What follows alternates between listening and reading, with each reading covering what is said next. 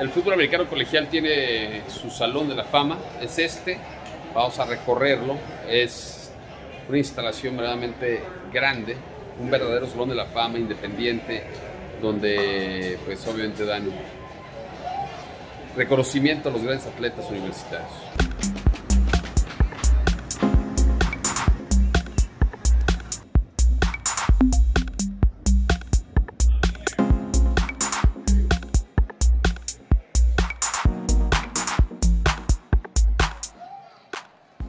Al momento de hacer el registro de esta gigantesca pared de cascos, quien viene de alguna universidad, pues, le picas y ya sale tu casco, ¿no? Por ejemplo, ahí está la Universidad de Clemson, por acá estaba. La Universidad de Clemson. La Universidad de Utah. Y así vamos viendo los cascos de todas las divisiones de Georgia. El trofeo del MacArthur Bowl que se sigue disputando. El último campeón fue la Universidad de Alabama en el 2020. Un bellísimo, bellísimo trofeo. Que inició, aquí está el primero, en 1959. Aquí estoy grabando, ahí salí grabando. Sobre la generación del 2006 están bien conocidos como Jerry Rice, Emmett Smith, Charlie Ward, Emmett Smith que de la Universidad de Florida, los coaches Bobby Bowden. Así, cada año, los, indu- los que son entronizados al Salón de la Fama. Es el año 2002. Dan Marino está por ahí. Es de Pittsburgh. Este es el actual, el que le entregan al campeón. Muy bonito, bastante grande.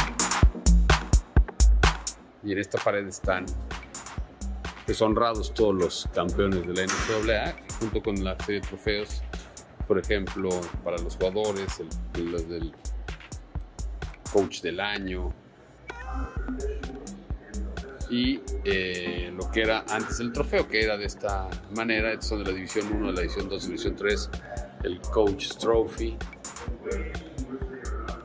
es lo que se entrega, ¿no?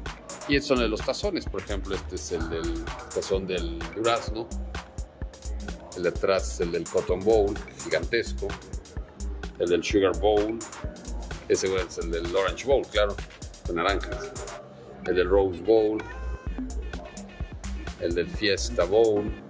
A me gusta ese, ¿eh? me gusta el del Cotton Bowl, está, está chido. Y también está padre el del, del tazón del, del durazno. It's holy cow, this is one of the coolest things I've ever. done. First time I ran out on the field, it was surreal. There was just this sea of colors that were all around you. It was almost like I went into a cartoon I was very loud.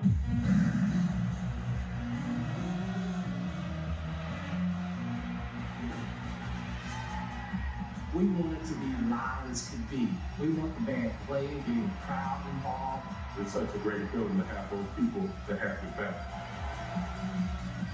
It's like a family.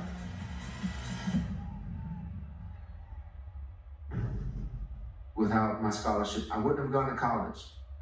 Nobody in my family had ever gone to college.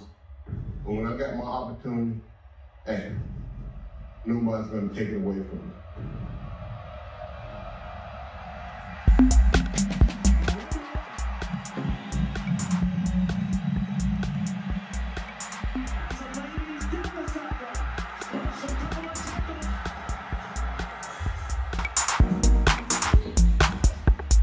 Un lugar de los divertidos porque aquí le puedes cantar, hay un karaoke y es la parte de los fanáticos, ¿no? De cómo se divierten, las tradiciones, la comida que hay en los estadios, la- lo que hay, los tailgates que son los, los previos y cómo, pues, las indumentarias de los porristas, por ejemplo, el, el caballo de Nebraska, ¿no?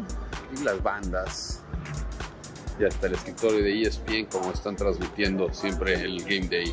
A mí este aparatito me encanta porque es como viajar a través de lo, del tiempo y de los estadios. El famoso Zeppelin, vean, como si fuera a ser el Zeppelin de el estadio de la Universidad de Alabama, y así puedes elegir cualquier estadio. Vamos a ponernos el de la M, Universidad de Missouri.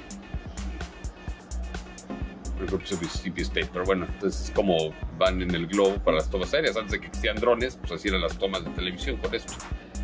¿No? Vamos a ver la Universidad de Texas. Texas ahí en puse más bien. A ver, ¿qué, qué más hay en Texas? Texas Christian University también.